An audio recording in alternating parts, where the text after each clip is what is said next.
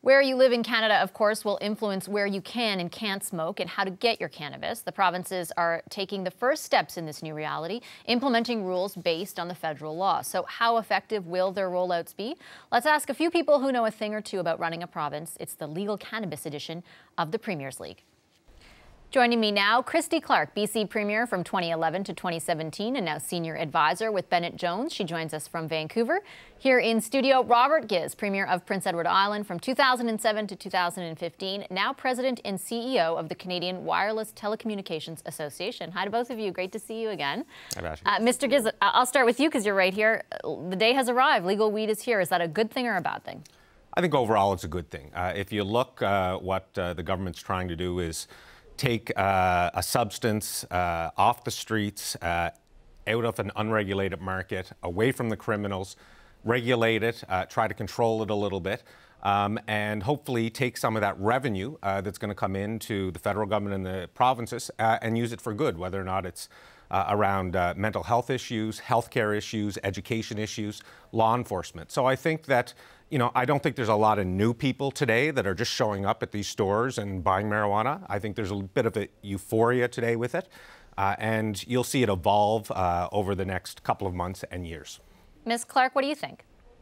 I'm a little more mixed about it, um, I would say, than Rob is. I think, you know, having the government's imprimatur on these uh, on you know, on on narcotics or drugs, um, alcohol.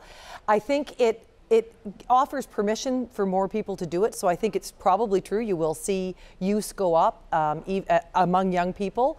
And I think that, you know, when we start seeing the marketing, and I know it's limited, but people are going to feel it from the big money in marijuana companies, I think that's also going to drive new users coming into the system. But I do agree with Rob completely on this. Whether it's good or bad, it's necessary. We lost the war on marijuana and you know we lost the police lost that war and so really it's a matter i think of surrender to the current reality, recognize that it, kids are getting it and people are getting it from criminals, and we should put this back into that. We should put this into the hands of people who can be who are willing to be regulated and going to supply a safer substance for people. That's an interesting point, Mr. Ghiz, because eh, you know for so long the debate is over whether or not to do it. Okay, it's happened now. So as we do look forward, what do you view as the biggest risk facing the you know grand social experiment, as I think the New York Times called it? Well, I think we're going to see, uh, as Christy mentioned, uh, an uptick in usage.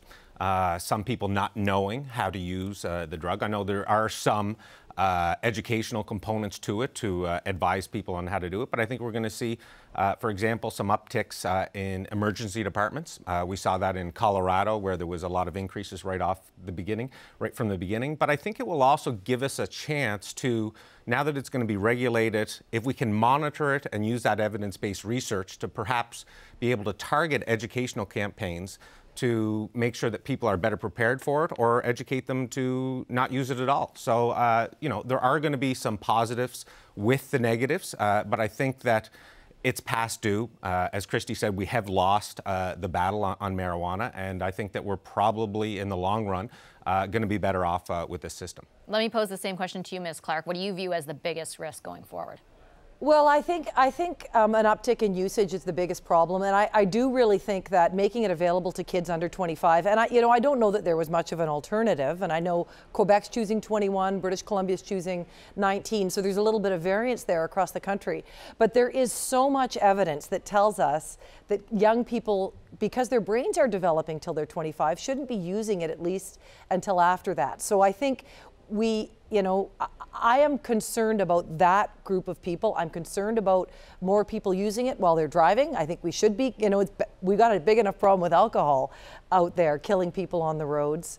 Um, and I, you know, I also, I think that some of the laws that have been designed across the country are things that we should think harder about. I think it's a big mistake to provide marijuana or to sell marijuana in liquor stores. You shouldn't have two inebriates in the same place. No one else has done that in North America. And um, I know the public sector unions want it, and I know they make big donations to political parties across the country, but I don't think we should put that ahead of people's health. And I think that's what's at risk there. You're nodding.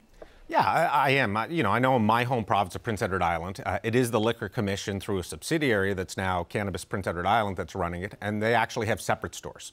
Uh, yeah. So I think that it is important to have separate stores, but I do think that there is different models all across the country today, uh, and this is something new. So, like any new major program that comes forward, there's going to be uh, an evolution of it uh, as we move forward. And I think that we can use some of the research to figure out should it be sold with liquor? As Christy mentioned, probably shouldn't be sold with liquor.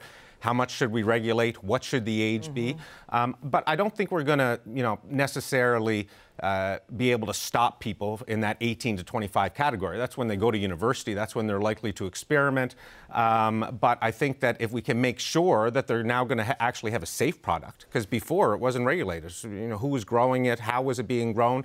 Uh, we didn't know. Uh, so at least now uh, we may be able to educate our young people a little bit more and be able to promote that, find out when it's not the, the optimal time to use it uh, and try to promote them to uh, abstain for as long as possible. Ms. Clark, I want to get your reaction to the government's announcement here in Ottawa today around pardons, essentially making it uh, easier and cheaper. So it'll take less time and it won't cost anything to apply for a pardon in minor possession cases.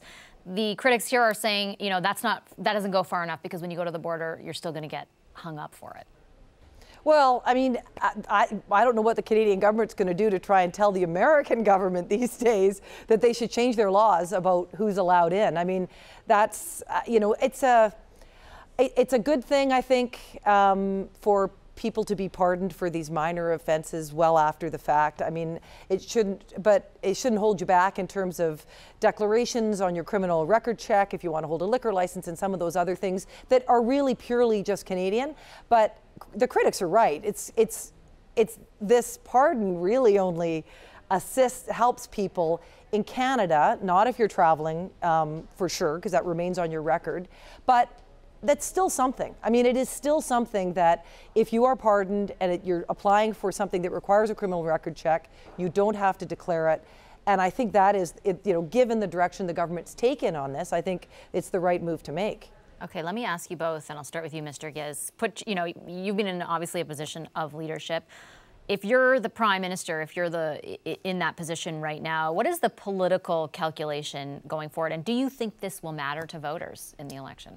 It's a, a good question. Uh, with any major public policy issues, there's always positive and negatives. Today seems to be quite positive.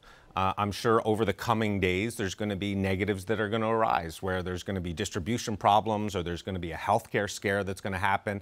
Uh, so, but I think overall, if the government sticks to his lines, which is that we're taking it out of the criminal world, we're regulating it, we're now taxing it so that we can take those dollars and put them into areas that can help uh, deter uh, marijuana use or, or, or, other drug use. So I think that there are positives that can be spun, but I think today is probably a good day. I do not think long term. You know, if I was still a provincial premier, was this something that was on my radar day after day? No, it wasn't. Was it something that got raised every once in a while? Yes. Uh, I don't think it's going to make or break any political party. I don't think you're going to have a political party that's going to try and reverse it um, now that it's all operating like this. So I think that it's. Uh, it, it, could turn out to be a wash. There will be some people that will ha- be happy and some that, that won't. Final word to you, Ms. Clark. What do you think the political calculation is? Well, I think it's really mixed. I think that um, when the when the when Prime Minister Trudeau announced this it, during his election campaign, it was a definitional thing for him. It was, hey, we're going to be different. We're going to be young. We're going to be new, and we're going to sweep away all these old dumb ideas. And um, people like that about him. I'm, but I know, you know, as you're Prime Minister for a while, people expect you know you start to have to take a different tone, and he has. You notice that he's talking a lot more about law and order. He's He's talking a lot more about protecting kids, which didn't really come up when he first talked about this in the election campaign. And I think what he sees is what the polling shows everyone, which is this is very unpopular in the South Asian community. It is very unpopular in the Chinese Canadian uh, community. Um, and so, and those, that's a significant number of voters in suburban riding. So from a purely strategic perspective, maybe not a net win this time as much as it was last time. Okay, I will leave it there. Thank you so much to Christy Clark and Robert Ghiz. Appreciate your time. Thanks. My pleasure.